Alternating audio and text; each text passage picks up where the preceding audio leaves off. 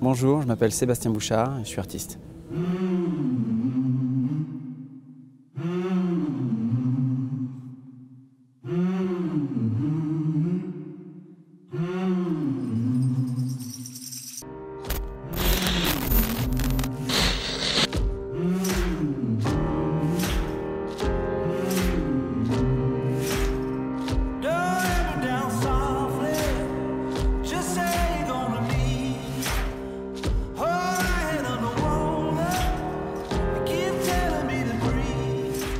Commencé par une école d'art et puis j'ai arrêté en fait parce que les difficultés ont fait que euh, c'était pas évident de, continuer euh, et donc je me suis lancé dans le graphisme et euh, arrivé un peu au bout de cette expérience je me suis remis à la peinture avec une espèce de background de, graphiste ce qui fait que du coup ça m'amenait forcément un peu dans la rue. Si, on veut reprendre au début, ma motivation c'était de trouver des objets dans la rue et peindre dessus. Ah c'était des morceaux de bois, des, c'était en Afrique, donc des tableaux d'école euh, qui étaient fabriqués par les artisans, je peignais dessus, euh, des morceaux de pirogue, des portes métalliques trouvées dans la rue, voilà. Et puis après, je suis revenu vers la peinture plus traditionnelle sur, toile. Et après, j'ai assumé plus facilement d'aller soit peindre dans la rue, soit coller mes peintures dans la rue. Essentiellement des choses figuratives, donc souvent des portraits, mais aussi j'essaie mélanger le portrait avec des éléments euh, tirés de gravures ou des choses occidentales pour vraiment avoir une espèce de,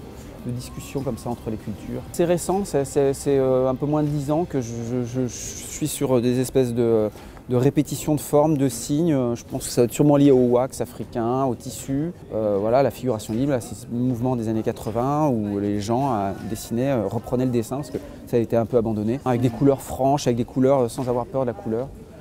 Euh, d'ailleurs, parfois, euh, ça fait peur la couleur. Hein. Le résultat peut être un peu... Mais bon, ça fonctionne.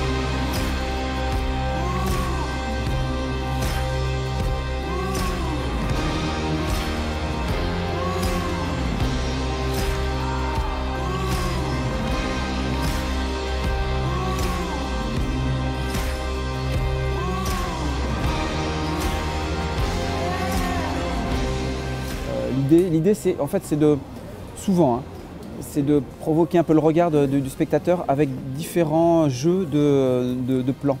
C'est-à-dire que le, plan coloré euh, et la lumière du visage euh, interagissent et on ne sait pas ce qui est devant, ce qui est derrière. Il y a un motif, il y a des patterns, il y a comme une tapisserie, et puis euh, soit la lumière du visage, soit l'ombre du visage vient uniquement.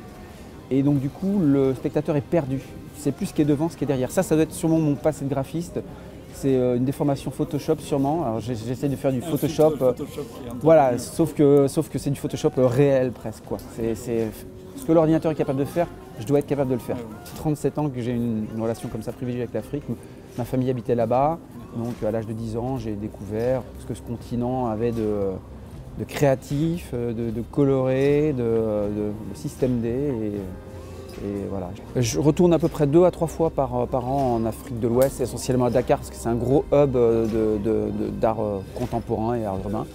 Donc ouais. Et puis donc je fais souvent des expositions traditionnelles et en parallèle je vais coller dans la rue, dans les quartiers populaires ou même en, ou même en, brousse, dans les petits villages. Il y a des bonnes expériences comme ça, de lieux qui prennent vie. il y a un espèce de petit tourisme qui se crée autour d'une œuvre ou deux dans un village.